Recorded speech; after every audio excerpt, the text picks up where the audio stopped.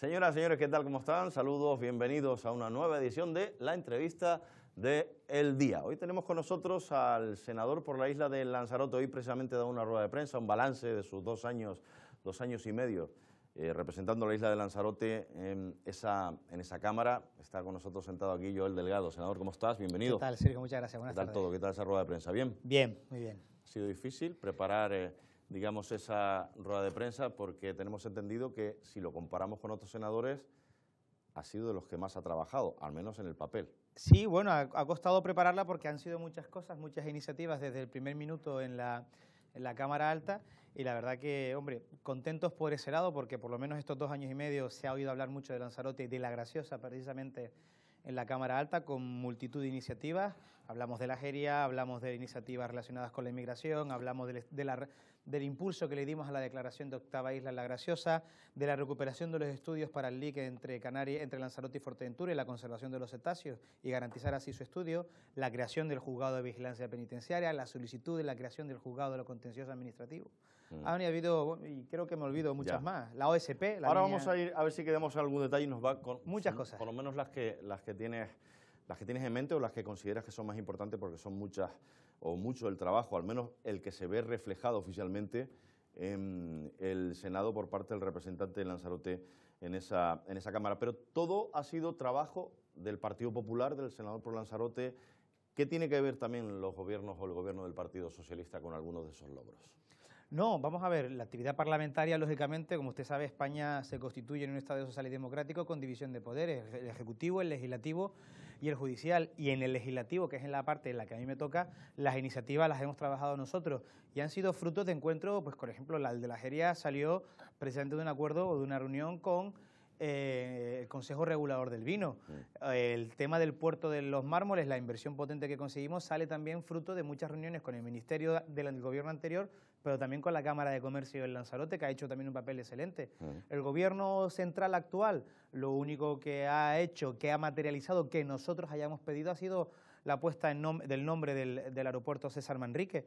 Ha sido lo único que ha hecho de lo que nosotros le hemos solicitado, porque realmente no han tenido tiempo material para ejecutar ninguno de los acuerdos que habíamos eh, adoptado previamente. Vamos a hablar algunos de ellos, pero déjeme que le explique al telespectador. Tengo un papel aquí que es oficial, un papel que se puede imprimir, por cierto. Entiendo que en la página web hoy oficial del, Senado, con su nombre y apellido, de dónde viene, tal, Grupo Parlamentario Popular, y habla de una serie de iniciativas, de preguntas, de preguntas con respuesta, de proyectos de ley. Bueno, aquí hay una que me llama mucho la atención porque hay 103, nada más que nada menos, pregunta con respuesta escrita. 103. En un principio parece una cifra fría, pero si la comparamos con otros senadores, ¿esto qué refleja? ¿Que ha habido trabajo o que no ha habido tanto trabajo como otros? Mire, Sergio, en el Senado yo siempre lo digo, es una Cámara que como no tiene los focos que tiene el Congreso, no hay, no hay realmente un trabajo o no hay una visión del trabajo que ahí se desarrolla, pero al Senado también, en el Senado también trabaja quien quiere trabajar. No le pone ningún tipo de problema para presentar iniciativas o para plantear preguntas. Y yo tenía claro que desde el minuto uno que íbamos a preguntar, esas 103 preguntas están todas orientadas, todas, Mm. absolutamente todas, a temas de interés en Lanzarote. Todas, absolutamente todas, desde inmigración, pasando por justicia, por el número de altas a la afiliación a la seguridad social entre autónomos y trabajadores por cuenta ajena, los ingresos que obtiene el aeropuerto, los, los pasajeros que tiene el aeropuerto, las líneas de conexiones, todas las preguntas que hemos registrado en estos dos años y medio son relacionadas con Lanzarote. Yo les invito a los ciudadanos de Lanzarote a que hagan un ejercicio y a que se vayan a la página del Senado y a que vayan a mirando la actividad que han tenido los diferentes representantes de Senado y si- probablemente se lleven una sorpresa en estos dos años y medio con relación al todo el proceso democrático o de la historia legislativa de Lanzarote con respecto a, su- a sus senadores. Yo el, el único que puedo vender es trabajo, no puedo vender otra Venga, cosa vamos a recordar algún que otro senador. A ver, eh, Cándido Armas, eh, Dimas Martín, Marcos Hernández, eh, Lusardo, Óscar Lusardo. Se- Seguramente se me salta alguno. Y José Ramón Galindo, que fue el, Galindo, pero senador fue que estuvo fugaz, seis meses. fue sí. muy fugaz. eh, sí, no, tuvo, meses. no tuvo tiempo a potencialmente a lucirse o no, o a trabajar, que no- esto no es cuestión de lucimiento. Pero en comparación, dejando a Galindo a un lado con, con el resto, usted es el que más, en, porque usted Hombre. ha estado dos años y medio. ¿eh? Sí, la legislatura ha durado dos años y medio y yo lo único que he hecho es presentar iniciativas y la verdad es que si te pones a mirar las eh, distintas actividades parlamentarias, sí es verdad que la, de esta legislatura sale más reforzada. vamos, por ejemplo, con los mármoles, que se ha conseguido, porque aquí escuchamos hablar de los mármoles y dicen, no, no, quien se raya los millos, no, me los rayo yo aquí, el Partido Socialista se lo quiere también rayar, el Partido Popular, y cuando hablo del Partido Popular hablo de, de, la institución que representas, en este caso el Partido Popular está representado por el, por el Senado. Realmente, los mármoles, ¿quién tiene las competencias ahí? ¿Es el gobierno? ¿Es el senador? ¿Es la autoridad portuaria? Nunca lo entendimos bien, o al menos nos intentaron vender otra cosa. Mire, el, sistema de gobierno de los puertos es un sistema de delegación absoluta a las autoridades portuarias. El puerto de los Mármoles es un puerto de interés nacional, por tanto es competencia del Estado y de puertos del Estado, pero que tiene a su vez una manera de organizarse dependiendo de la zona donde esté, de su eh, respectiva autoridad portuaria. En nuestro caso la de Las Palmas. En el año 16, cuando tomo posesión como senador, quien presidía esa autoridad portuaria de Las Palmas era el socialista Luis Ibarra, que nos planteó miles de pegas para cumplir con el plan de empresa del puerto de los Mármoles. El plan de empresa lo que decía que para estos ejercicios económicos lo que se preveía era el cierre sur y la ampliación del muelle de cruceros, quedando el puerto concluso. En este caso tuvimos que batallar, pelear, incluso reunirnos, tanto el presidente de la Cámara, José de Torres, como yo, con el ministro de Fomento en primera instancia, pero después también con el presidente del Puerto del Estado. Y en una reunión celebrada en Madrid el 12 de, septiembre del año 16 mm. conseguimos consignar en los presupuestos, consignar en los presupuestos, ponerlos en el papel los 22 millones de euros para esas dos obras. A día de hoy, después de mucho guerrear, de mucho batallar y de tener que contentar también a la Autoridad Portuaria de Las Palmas, eh, digamos que coaccionando con la retirada de los fondos de Lanzarote para que ellos pudieran obtener la ampliación del Reina Sofía, pues logramos que los dos puertos salieran reforzados, que los dos puertos tuvieran las inversiones que estaban solicitando y reclamando, y a día de hoy, no voy a vender humo, es una realidad, la obra del puerto de, los mármoles, el cierre sur, estaba recién adjudicada mm. y probablemente empiece durante el mes de marzo y tendremos la oportunidad de ver cómo se ponen las primeras piedras allí. Del puerto al aeropuerto, venga, también del aeropuerto se ha trabajado. Por cierto, lo de César Manrique, que cambio de nombre, no recuerdo bien. ¿Fueron ustedes de del PP los que pusieron pegas o por el contrario los que lo propusieron? No lo recuerdo, por las eso dos lo pregunto. Las dos cosas. Muy bien. Y, le explico rápidamente. Era una moción que presentó un grupo nacionalista en Gran Canaria, Nueva Canarias, en el que hablaba de que AENA costeara el, cambio de nombre. Se rechazó por una cuestión formal y aún así nosotros, después de rechazarlo por una cuestión formal y que ahora entraré en ella, nosotros presentamos otra en el mismo sentido, pero que no era eh, AENA quien debía pagarlo, sino el gobierno como ente proponente.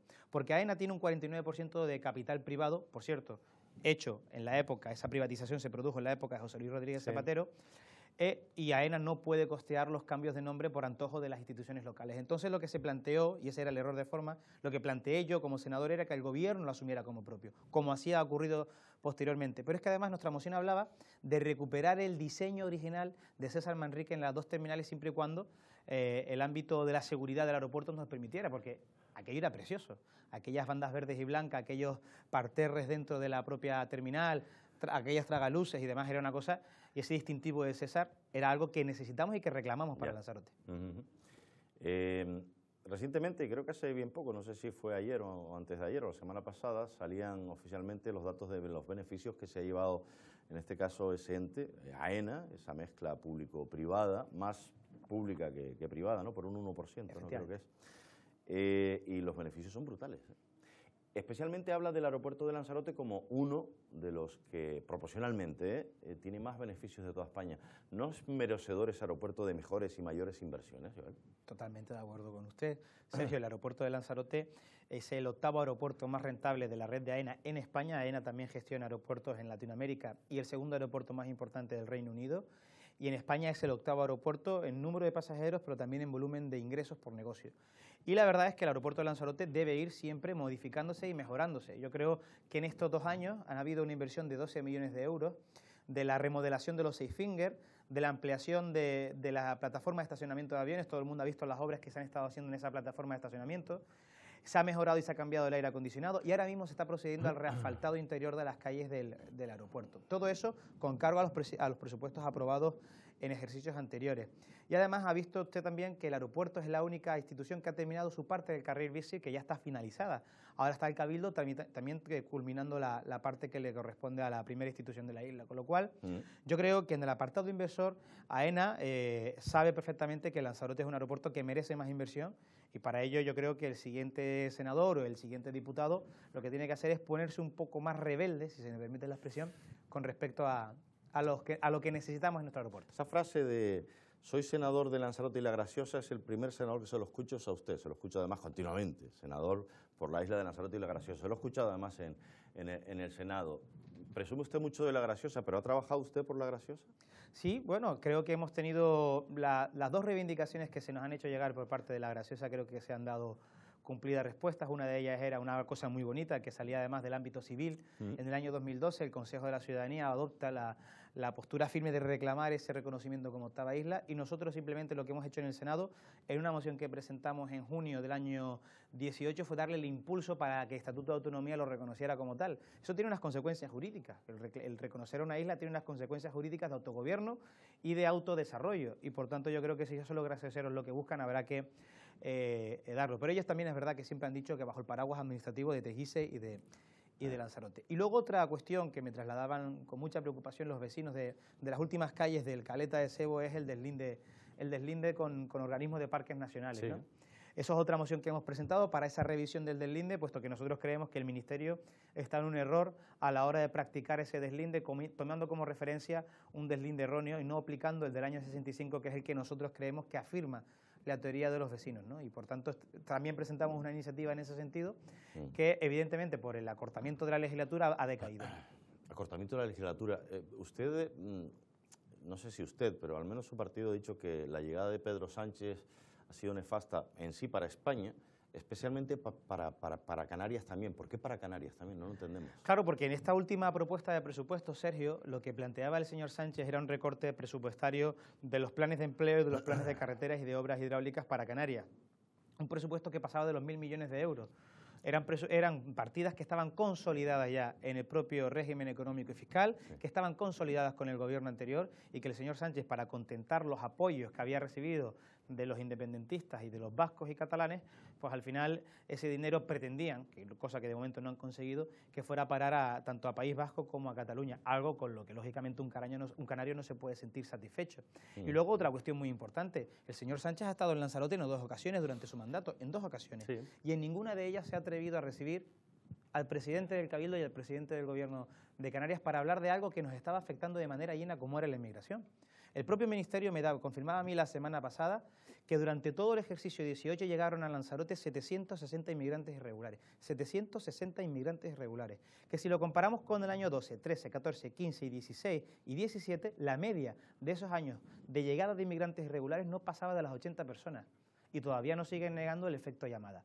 Pues bien, generando todo ese problema, las dos visitas de Pedro Sánchez no sirvió ninguna para que se sentara a hablar con los legítimos representantes de Lanzarote, que podremos estar más o menos de acuerdo quiénes son, pero son los que ha elegido la ciudadanía y que, por tanto, para trasladarle este problema, el señor Sánchez tenía que haber escuchado. Por eso digo que también ha sido nefasto, al menos en ese sentido, para con Lanzarote y La Graciosa. Eh, entiendo que no le sorprendió demasiado que se adelantaran las elecciones. No, de hecho lo reclamábamos insistentemente. El gobierno de Sánchez, al perder el control sobre los presupuestos, al anunciar al principio de la moción de censura que su único propósito era convocar elecciones y al empezar a aplicar esto del relator en Cataluña, eh, la, eliminación de las concertinas en, Marruecos y en Ceuta y Melilla, todo este despropósito de políticas hacían que este país tuviera otra vez que pasar por las urnas porque desde luego estábamos viendo una deriva a la que el gobierno de Sánchez, ya no solo en la materia presupuestaria que hemos hablado con anteriormente, sino también con políticas de corte económico. Conocíamos los datos del paro otra vez ayer y nos llevábamos las manos a la cabeza. Es, la primera vez en 10 años que el paro en febrero sube en, vez, en lugar de bajar. Sí, es un dato diferente. Y desde luego nos hace ver de que el camino que está tomando el gobierno de Sánchez no es el camino correcto. Y por eso pasar por las urnas es una magnífica noticia. ¿Qué opinión tiene usted de las encuestas? Digo porque yo lo recuerdo, ¿eh? Yo recuerdo cuando usted estaba trabajando en el Ayuntamiento de Arrecife que tenía una opinión. ¿Cuál es? ¿Son, ¿Se las cree o no se las cree? Yo, las encuestas, la única encuesta que me vale, la única que me vale es la que se produzca, la que se produzca el día de las elecciones. A mí en el 2016, saliendo además por esta, recuerdo una conversación por esta, por esta televisión, en la que me decían, joder, Joel, no vas a tener posibilidades al Senado, está la cosa complicada, Podemos estar fuerte, el PSOE está fuerte y tal. Y al final dimos la sorpresa y ganamos y le sacamos 1.300 votos al Partido Socialista. Hay que trabajarlo. el Partido Popular tiene que trabajarlo, tiene que pelearlo, tenemos que salir a la calle a explicar lo que hemos hecho, a decir que somos la mejor opción, porque si se pone a mirar uno para atrás, somos la mejor opción en lo económico, en lo social, porque nosotros creemos que la política social es tener un buen empleo, un empleo de calidad, y luego, evidentemente, seguir apostando por los retos del futuro que tenemos. Hay que seguir mejorando nuestro aeropuerto, nuestras carreteras, nuestra sanidad. El maestro de las encuestas era Candido Reguera, era un maestro. Eh, eh, eh, pero bueno, y de ahí aprendiste, y aprendió Joel, muchas cosas de, de, Candido, pero las encuestas a día de hoy no le dan muy bien al PP. No, no nos da muy bien porque en Lanzarote, por ejemplo, ah. corremos el riesgo serio de que el que se presente al Senado por mi, por mi formación política no pueda salir no porque creamos que hayamos hecho un mal trabajo, sino porque el voto de la derecha se segrega. Ahora hay una nueva fuerza política que es Vox, está, está Ciudadanos y también hay una parte importante de Coalición Canaria compitiendo en ese espectro ideológico. Y a medida que el PSOE suba un poco por la fuerte bajada de Podemos, se hace muy complicado que un miembro del Partido Popular, que es quien único le pueda hacer frente dentro del espectro ideológico de la derecha, si nos basamos en los últimos resultados, pueda hacerle frente al Partido Socialista. Con lo cual volveremos a tener un senador que se dedicará a ir a Madrid, no sé a qué, en función de lo que han habido anteriormente a mí, pero que no va a trabajar como, como lo hemos hecho nosotros intensamente. Sociólogo que Michavilo, usted cree en él mucho, ¿no? O al menos sí, a mí me gusta, me gusta escucharlo. ¿no? Me gusta ah, escucharlo. Hablaba de Vox, pero por ejemplo, eh, de, ese partido, ¿no? Que, es, eh, digamos, la sorpresa para algunos, para otros no, era esperado pero que habla que, por ejemplo, en otras muchas comunidades autónomas va a tener probablemente mucho eso, en otras tantas no. Y hablaba de los dos archipiélagos donde decía que Vox no lo iba a tener tan, digamos, tan claro. ¿eh? Yo creo que ese elemento eh, que habría que incorporarle ahí es que precisamente en Canarias está ahí, en Canarias y en Baleares hay partidos nacionalistas vinculados al centro derecha, en este caso Coalición Canaria. Entonces, claro, se le hace mucho más complicado encontrar, encontrar, digamos, una grieta por la que infiltrarse, pero aún así creo que, que los votos de Vox en Canarias serán eh, muy similares a los que pueda haber en el resto del Estado. Por eso yo digo que lo importante es saber qué partidos son los que pueden hacerle frente a las políticas del señor Sánchez y qué partido es el que mejor posicionado está y apostar por esa fuerza, sobre todo en el Senado, que son circunscripciones donde se elige solo un senador. Por tanto, yo creo que al Senado habría que aglutinar todo el voto de la, del centro derecha mm. para que precisamente pueda competir de tú a tú con, con, el Partido Socialista. Venga, 28 el próximo 28 de abril, ¿no? Son las eh, elecciones, hay que hacer... Eh, eh, em, los deberes, pero después vienen otras elecciones también muy importantes, eh, que son las autonómicas, y con una nueva lista regional, ¿no? Es la lista regional que hay mucha ciudadanía todavía que no la entiende muy bien. Eh, se irá entendiendo, no, no, vamos, no, vamos, no, vamos, a tener otro remedio los que vayamos a votar o no de, de querer o no querer entenderla. Ya tiene tanto Coalición Canaria como PSOE sus cabezas de lista esa lista regional. El PP todavía no lo ha hecho oficial. ¿Entendería usted que se debe llevar, digamos, al cabeza visible, más visible en Canarias como es Asier Antona en esa lista?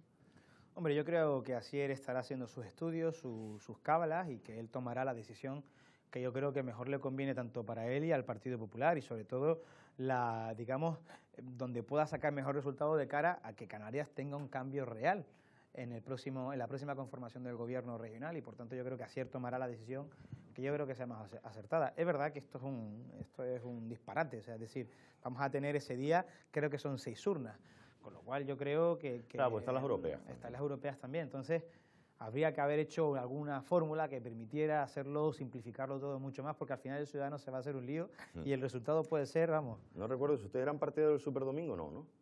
Nosotros éramos partidarios del Superdomingo, sí hacer por concentrar el gasto, básicamente. Yo sé que eh, agua pasada no mueve ningún molino, pero, pero disparate, es que no cabríamos ni, ni en los colegios. Un, colegio, por ejemplo, el colegio de Magues, donde yo voy a votar, es que ahí no cabría, no cabrían, le aseguro que no cabrían las urnas. Era un auténtico disparate. Bueno, ustedes sabrán por qué. No, porque ahorrábamos gastos, utilizábamos los mismos miembros de las mesas.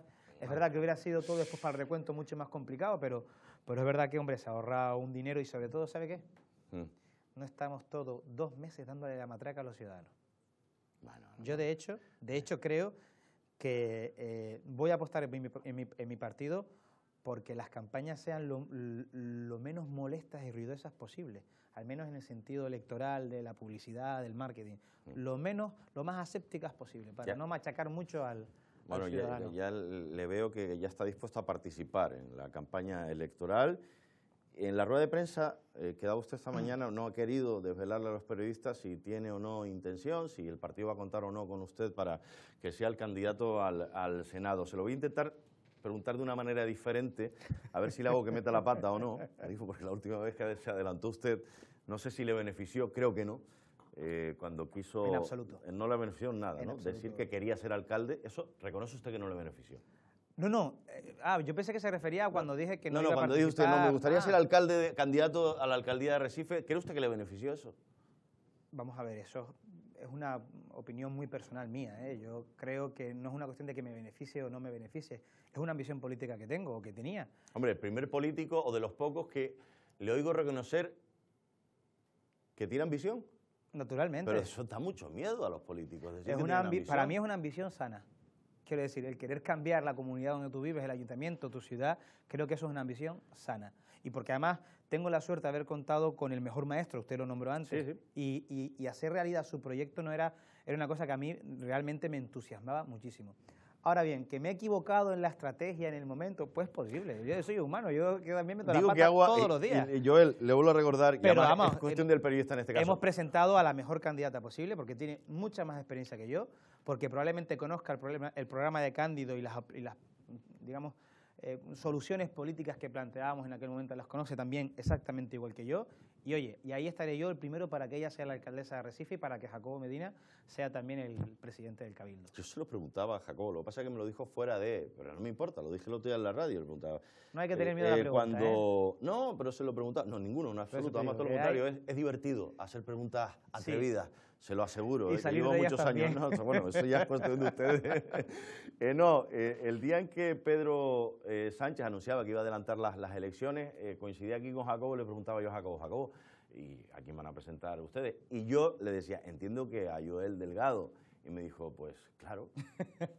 Eh, pero vamos a ver. Jacobo y yo nos- nos tenemos evidente, mucho me lo digo cariño. fuera de, de- de- de cámara, quiero decir, con todo, y perdona, Sí, Jacobo, no, no, no, no creo Pero que- vamos a ver, que, que no hay pistas. Yo es que en este momento de lo que estoy hablando es del balance. Eh, ahora habrá tiempo de hablar de quiénes son los candidatos a, la distinta, a las dos, al Congreso y, a la- y al Senado.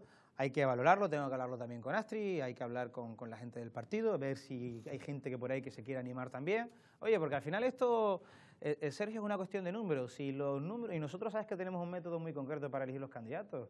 Un sondeo electoral, que sean los ciudadanos de Lanzarote quienes digan, quienes digan los que prefieren como O candidatos. en- sondeo interno, ¿no? Sí, un sondeo interno. Entonces, por tanto, oye. ¿Eso qué eh, se hace? ¿Preguntando en la calle o llamando por No, teléfono? no, se contrata a una Ah, es una empresa, empresa, efectivamente, Vale, vale, que vale. se hacen las cosas más o menos en ¿Y, serio. y cuándo lo vamos a conocer? Pues yo supongo que los plazos serán de aquí al final de, de mes. O sea, sabremos más o menos quién será ya en los candidatos. Mucho, ¿no? Ahora hay que hablar de lo que Pero ¿cu- ¿cuánto es tiempo importante. para sufrir, no, Joel? Eso es... No, no, de verdad que no sufro yo con esto. ¿Cómo- Yo me divierto mucho. cómo- ¿Cómo se lleva con Astrid Pérez? ¿Bien? Muy bien. Y le voy a, me voy a adelantar. A ver. Yo sé que usted me va a preguntar por posibles diferencias y demás. Lógicamente, Sergio. Ah, tengo diferencias hasta con, con- con mi perro, es decir, es que es normal, es que es normal, ¿no? Con lo cual yo creo que lo importante es que el proyecto, la idea sobre isla, sobre ciudad, quede siempre al margen de esas pequeñas diferencias que pudieran surgir. Con Astrid tengo diferencias todos los días, como las tengo con Jacobo, como las tengo con cualquier otra persona, porque no todos somos monolíticos, no todos pensamos exactamente igual, y que haya diferencias enriquece mucho el debate. Ahora bien, el tema está en cómo se abordan esas diferencias. mm. Y si se abordan desde el punto de vista de la responsabilidad, con respeto, con educación y sobre todo poniendo por delante la isla y el proyecto del partido político, yo creo que no hay mayor problema en que cada uno opine lo que considero eh, necesario. Mm. En ese sentido, Astria ha diferido conmigo muchas veces y yo he diferido con ella, pero aún así somos grandes amigos, grandes compañeros de trabajo y voy a intentar y voy a pelear para que ella sea la próxima alcaldesa. Antes de despedirlo, déjeme que le haga una pregunta, porque recuerdo un, un agrio enfrentamiento, creo que fue en redes sociales, con alguien que ha sido protagonista, fue protagonista hace bien poco, que se llama Daniel Cabecera, que es concejal Ah, en el Ayuntamiento de Arrecife, pero también hasta hace pocos días asesor, pero sin ser asesor se trasladó al cabildo, eh, digamos a un pleno de- del Cabildo y allí se montó una trifulca. Entiendo que sabe usted el- la historia. eh, eh, ¿A quién se cree usted más? Sin saber, sin conocer, pero conociendo un poco a Cabecera y a Pedro Sanginés, Mire, lo- ¿se, cree, ¿se cree usted lo de los besitos? ¿Se cree que Pedro Sanginés le pudo llamar lo que se llamó? No sé, quiero saber cuál es... Yo, la verdad que estas cosas procuro prestar poca atención para que no me despisten de lo que tengo que estar. Pero es verdad que, que esta gente de Podemos, tanto Carlos Meca como el señor Cabecera, han venido a la política a hacer mucho ruido y poco trabajo. y poco trabajo, porque lo único que recuerdo yo del señor Meca, actividad, eh, digamos, en el Cabildo su de Lanzarote, una rueda de prensa para decirnos que había un acuífero importantísimo. Es lo único que recuerdo de acción política de Podemos. Mm. Y sinceramente, esta gente que venía a regenerar, la verdad que con actitudes de estas el otro día, tenga o quien tenga razón, la verdad que no lo sé. Yo hablé con Pedro Sánchez esa misma noche porque coincidíamos en, la, en la final de Murga. Yo sé que Pedro no es que sea una persona excesivamente agradable en lo personal, pero imagino, imagino que no actuará de manera impulsiva cuando el señor Cabecera a lo mejor tiene también algunas actitudes que, que rozan, digamos, la falta del respeto a la institución. No, a Pedro, a la institución. No, te lo digo porque además como concejal ha coincidido con Daniel Cabecera en el pleno del Ayuntamiento de Arrecife, ¿no? Y es verdad que al principio la relación era muy cordial con ellos, pero debe ser que se han debido poner nerviosos con esto de las primarias y con esto de los posibles enfrentamientos internos, que por cierto han salido derrotados también internamente, algo que se tienen que hacer, solo mirar. Mm. Mm, la relación es verdad que se enfrió bastante, pero a mí de verdad eso no me quita... Me da mucha pena que se haya ido a La Graciosa, que es una isla que para nosotros es muy importante, a formar semejante espectáculo. Eh, yo de verdad invito a las fuerzas políticas del cambio a hacer un verdadero cambio en las formas y sobre todo también en el fondo. ¿no? Eh, senador, eh, ¿hoy es senador? Ya no. Ah, ya no es Desde ayer que se publicó en el Boletín Oficial del Estado la disolución de las Cortes, soy un ciudadano civil, no me dedico, ¿Y no tengo responsabilidades políticas. cuatro días aproximadamente, ¿le podemos llamar candidato o no? no lo sé, me querías pillar ahora de último. No, nunca, nunca, nunca, te voy a pillar. No te puedo dar la mano porque Josefina dice que, que, le descuadro el, el, plano. Eh, cuídate, eh, gracias y suerte. Gracias. Venga. Gracias. Es eh, el que fuera hasta ayer, porque se han disuelto las, Cortes senador por la isla de Lanzarote dos años y medio, y hacía balance y nos contaba a los medios de comunicación los detalles de cuál ha sido su trabajo. Es cierto que a lo largo de la historia, de la larga historia ya de la democracia española y de la historia de ese Senado, eh, pues hemos tenido algún que otro senador y en comparativa y en proporción, evidentemente, al tiempo que ha estado enfrente, eh, se los lleva de calle en cuanto al menos a, trabajo. Que les vaya bien, ¿eh? hasta mañana.